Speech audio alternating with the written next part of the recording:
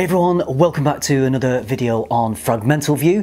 In this video I'm going to be looking at Dendera from the house of Centauri Perfumes.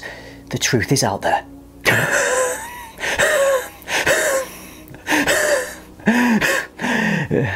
uh, that's my other channel. Aliens and shit.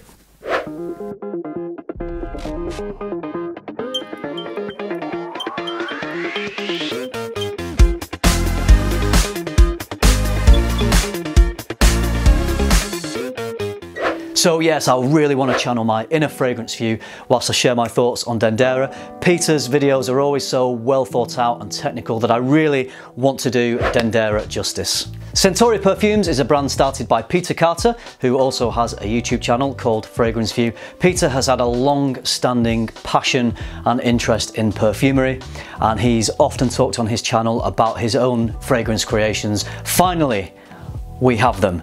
I feel like we've been waiting such a long time for this and his fragrances have now arrived. He launched just at the end of the year back in December 2019. Peter has invested a massive amount of time and money into this fragrance brand and he would not have put these to market until he was completely happy with his creations. And I feel, and I think you will know what I mean if you watch Peter's channel, he has very high standards. So we've all been waiting in anticipation for this fragrance line. So far, there are three fragrances in the lineup. Two have already been released. One is yet to be released in March, I think it is. And the idea is that there are three different timelines represented within Centauri perfumes. So the first one concentrates on the ancient and natural world, and those fragrances are composed of natural materials. The second represents the present, and these fragrances will be composed of a mix of synthetics and naturals. The third represents space and the future, and I believe these fragrances will be composed of synthetic materials. Now, Sometimes synthetic materials get a bad name, but there can be some beautiful, amazing, out of this world, literally, synthetic molecules created. So I'm really looking forward to seeing what happens with that down the line. That is the one that is yet to be released. That will be called Proxima. So, so far released, we have Dendera, which is what I'm talking about today. So this represents the ancient and the natural world, and then Gaia, represents the present. Now within each of these timelines there will be fragrances. So Dendera is the first of the ancient and natural world releases. There will be more in this red bottle. Gaia, which is the white bottle, is the first of the present. So there will be more white bottles and then there will be more blue bottles. So that is Peter's long-term plan for the brand. So pretty exciting, I think. Something I'm really excited about with this brand is the presentation. Peter has put such money and time and thought into the presentation of his fragrances. So let's take a closer look at the presentation of this beautiful bottle and the notes that are inside.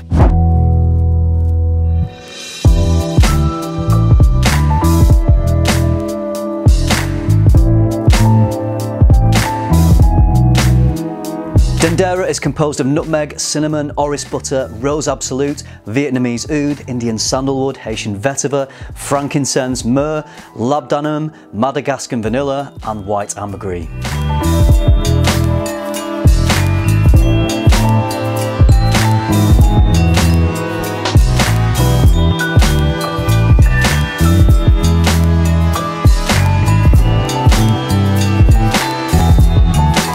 This fragrance is made up of so many high quality and very expensive materials. I'm actually surprised it doesn't cost more than it does. It's inspired by the mysteries of ancient Egypt. Dendera is an ancient temple in Egypt. And when I smell this, it immediately transports me to the ancient temples of Thailand. I haven't been to ancient Egypt, but when I was traveling around Thailand, you, you tend to visit temples because there's a lot of them in Thailand. And you walk into these old temples and you get this kind of ancient, earthy, musty smell, but you get the smell of incense. So it's a really kind of strange, exotic, and mysterious smell. And Dendera just takes me back to those temples. So when this opens, you get this spicy, dry dustiness and it reminds me also of walking around the spice markets, the souks in Dubai, but I'm sure that that would apply to any spice markets that you would visit anywhere around the world in, in hot countries. It has a very potent, spicy, dry, dusty earthiness to it. And as it dries down a little bit, the incense begins to reveal itself and it really sparkles and lends a very enigmatic, mysterious quality to the fragrance.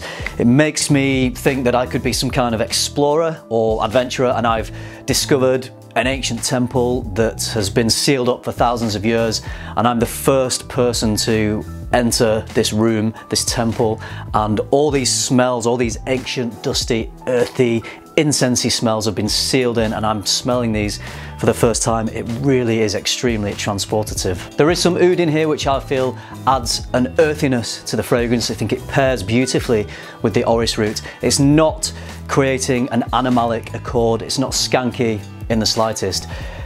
I want to talk about the orris root because for me, I feel that that is running through the heart of this fragrance. I detect the orris root from beginning to end.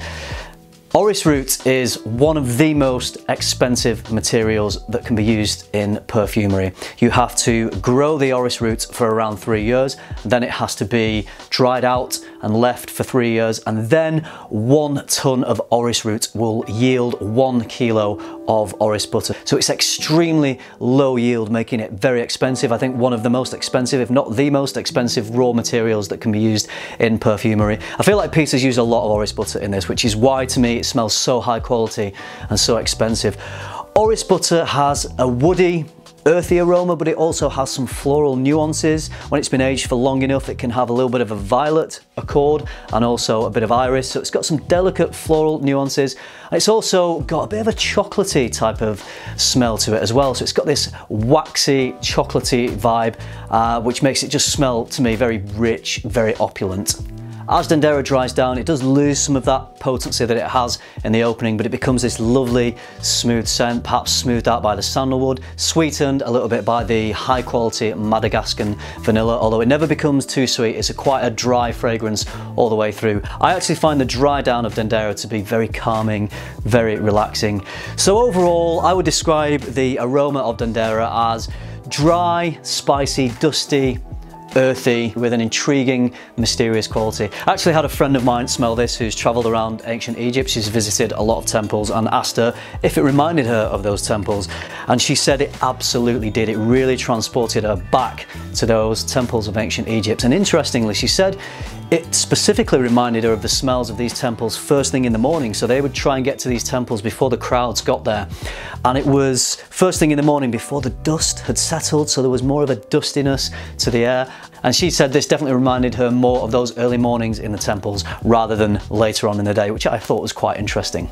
Dendera is quite a thick and dense scent. I think you could wear it for lots of different occasions, different times of year. I think if you were wearing this as a day scent or maybe a work scent, I would just go uh, light on the sprays but I think it could work if it's your style, if you think you can carry this style of scent off. So I would say sample if you can because it is quite an artistic scent, so I don't know if this will be for, for everyone.